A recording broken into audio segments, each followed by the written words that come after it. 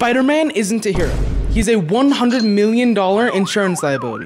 We've been lied to for 20 years. We thought the train scene from Spider-Man 2 was a miracle. But Who is Spider-Man? He's a criminal, that's who he is. A vigilante, a public menace. J. Jonah Jameson wasn't a hater. He was an actuator, and he's looking at the same numbers I'm looking at right now. Let's look at the evidence. Doc Ock disables the brakes on a 6-car R143 subway train. A single R143 car has a mass of 33,000 kilograms.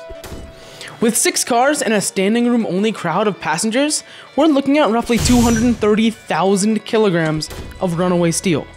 The speedometer says 80 miles per hour, and that's about 36 meters per second. Peter Parker tries to stop the momentum using his feet at first, until he finally resorts to his web.